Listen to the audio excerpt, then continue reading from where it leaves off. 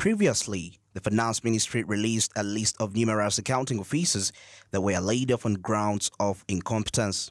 The Deputy Speaker of Parliament, Thomas Tayebwa, has today expressed displeasure over the decision as many are dropped punished and later deployed elsewhere. According to Tayebwa, the Ministry of Finance should explain the criteria used to drop these accounting officers and further caution it for incompetent staff. So why keep them in positions of responsibility? Where is the gap? Is it in the law? If it's in the law, then we amend the law. If you are dropped as an accounting officer, we know it's a disciplinary measure and a harsher sentence is given. But not recycling. Not recycling. In addition to the Speaker's submission, members of Parliament have also expressed their disappointment over government's unethical appointment of accounting, which has in turn led to deficits and accumulation of domestic debts. And most of them used to come from Teso region and Lango. I remember. Very brilliant people. But now currently, currently, this business of robbing to be a PS or to be a CAO in the district should stop. Let's go according to merit. We guided the ministry that they should actually take action. And if somebody is removed for indiscipline, there is no way they should continue to hold a public office. There must be commensurate uh, accountability and disciplinary actions taken. No accounting officer can be dropped without a reason. There is always a reason why that person has been dropped, and most of them related to uh, issues of maybe financial, uh, financial loss or, yes. So, Right Honorable Speaker, is it procedurally right for us to continue with this subject when the Minister of Finance is here?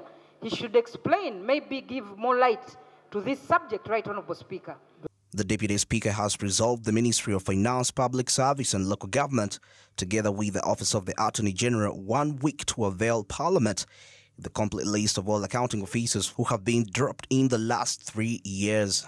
Meanwhile, there is a growing demand for reparation based on the Public Finance Management Act. Give us a status of accounting officers who were suspended for the last three financial years because reasons were given for their suspension and we want to know whether their issues were sorted or not according to reasons which were given for suspending. From section 11.2g of the Public Finance Management Act 2015 as amended. What do these laws require us to do? The law requires us to look at accountability issues. And it says where the accounting officer has unaccounted for funds as clearly stipulated in the Auditor General's report or the Internal Auditor General's report, he or she should not be reappointed. The three ministers, the Minister of Public Service, Minister of Finance, and the Minister of Local Government, can, look, can be tasked to look into this matter and report to the House in the next two weeks. Then after that, the House can take a decision. Amidst the layoffs and demand for equitable public finance management, it's yet to be seen whether the deficit partly exerted by the public finance management will be effectively tamed. Andrew Barije, Samuel Kirimunda, Smart 24, Business Today.